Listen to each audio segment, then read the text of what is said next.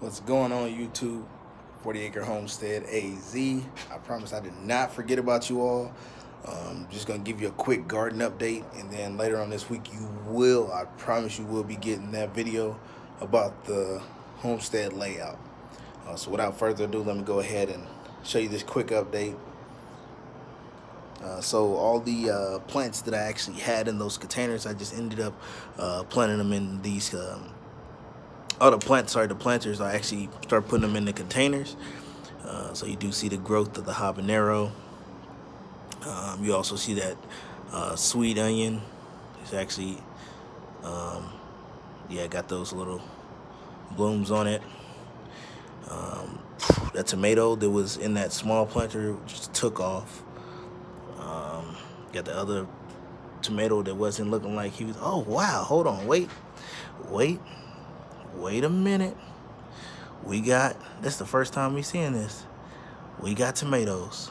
Yes, sir, we got tomatoes.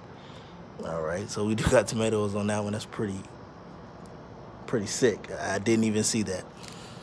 Um, the beans are doing pretty good. And it looks like we're starting to get beans as well. Hold on. Yep, gonna start getting beans as well. See what else we got? We got squash. Uh, we haven't started getting any of that yet. It's still climbing, um, but I am ready for it to start doing this thing. I don't know if you remember last time, um, all of these were probably about the size of this one. Now they're taking off. Uh, next we got the corn. Corn is still doing pretty good. Um, after I did that little stabilizer trick with all these um, twist ties, um, it actually stayed still. We got the lettuce in the back. I'm pretty, it's pretty amazing. I didn't think it was gonna keep on going at that rate, but I guess so. And we got this lettuce right here. Uh, we got all these peppers spread out through here.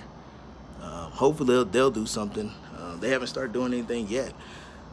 I didn't even know if they were gonna continue because I didn't know they were gonna need to be straight up, but you know, I thought that them being you know, laying in the dirt would be an issue, but I guess it doesn't bother them. Uh, we got the other um, tomato planted, looking pretty good. Uh, we also have the eggplant looking good. So, yeah, and then we got this other uh, squash. I want to say this is the winter squash. It's actually getting kind of thick.